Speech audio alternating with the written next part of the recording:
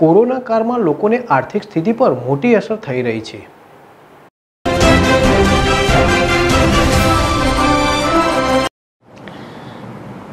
કપરી સ્થિતિમાં લોકોને રાહત દરે તબીબી સારવાર મળી રહે તે માટે અરવલ્લી જિલ્લાના મોડાસા ભરૂચના નેશનલ હાઈવે અડતાલીસ જાડેશ્વર ચોક મલ્ટી સ્પેશિયાલિસ્ટ હોસ્પિટલ ચાલુ કરવામાં ઓફિસની બાજુમાં ઇમરજન્સી એકસો કરવામાં નવીન હતી તે દરમિયાન એમ્બ્યુલન્સ બાજુના મુકેલા પાંચ મોબાઈલની તબીબી સારવાર મળી રહે તે ઇમરજન્સી એકસો એમ્બ્યુલન્સના સંચાલકોએ ભરૂચ સી ડિવિઝન પોલીસ મથકે ફરિયાદ મેડિસિન ડેન્ટલ બનાવની મળતી માહિતી અનુસાર ભરૂચના નેશનલ હાઈવે અડતાલીસ રોગના નિશાળેશ્વર ચોકડીથી દ્વારા સારવારની કરવામાં આવી છે. જવાના માર્ગ ઉપર મહત્વની બાબત જૂના ટોલ ટેક્સની ઓફિસની બાજુમાં ઇમરજન્સી ઓક્ટોબરથી એમ્બ્યુલન્સ કાર્યરત હોય છે. લોકોને જે ગત તપાસ કરવાનું મોડી સાંજે આયોજન ઇમરજન્સી એમ્બ્યુલન્સની ગાડી શહેરીજનો અને તે દરમિયાન એમ્બ્યુલન્સમાં રહેલા બે ખરાબ લેવા હોસ્પિટલ દ્વારા જણાવવામાં મોબાઈલ મળી.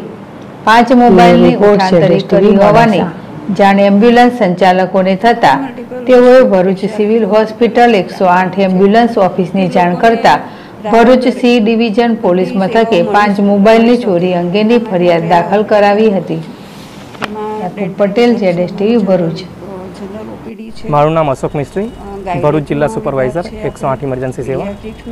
ગત રાત્રિ દરમિયાન અમારું ચારેશ્વર લોકેશન જે ચારેશ્વર નેશનલ હાઈવે નંબર આઠ પર ઊભું રહે છે.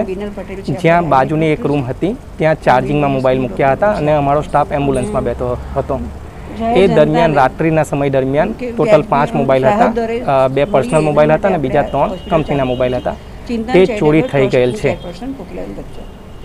અને મારો જે એવો છે કે લોકોને સારી સેવા મળી શકે. મારી હોસ્પિટલથી મારી હોસ્પિટલથી કોઈ પણ ડિટેલમાં આવી રીતના છે કે મોબાઈલ હતા તે બાજુમાં જે રૂમ હતી એમાં ચાર્જિંગમાં મૂકવામાં આવ્યા હતા અને અમારો સ્ટાફ એમ્બ્યુલન્સમાં બેઠો હતો. એ સમય દરમિયાન રાત્રિના બાર વાગ્યા પછીનો સમય હતો. બારથી સવારે ચારેક વાગ્યાના સમયમાં કંઈ અમારા સ્ટાફને પણ આઈડિયા નથી કે કઈ રીતના કોણ લઈ ગયું પણ એક રૂમમાંથી